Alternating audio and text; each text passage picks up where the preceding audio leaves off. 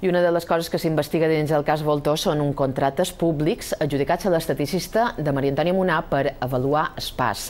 L'exconseller de Turisme, Francesc Buils, ha assegurat davant el jutge que no va rebre ordres de Monà ni del seu entorn per adjudicar finançament públic al projecte de l'estaticista.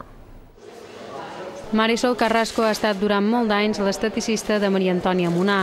Ella i dos socis més varen rebre 85.000 euros de la Conselleria de Turisme per catalogar els balnearis d'hotels. La Fiscalia creu que es varen adjudicar, ha dit, i opina que les auditories de l'estaticista no tenien cap utilitat pública. L'exconseller de Turisme Francesc Buils, en llibertat sota fiança pel cas Voltó, ha tornat avui als jutjats. Assegura que no sabia que Carrasco fos l'estaticista de Monà i nega haver rebut ordres de l'expresidenta del Parlament per atendre-la i facilitar-li finançament públic pel seu projecte. Vaya declaració, gràcies. Qui va ser comptable d'Unió Mallorquina i responsable financer del Dinestur, Álvaro Llampart, afirma que signaven moltíssims papers i que per això no recorda el contracte dels espais. La darrera a declarar avui ha estat Catalina Mas, la tècnica que es va encarregar del projecte.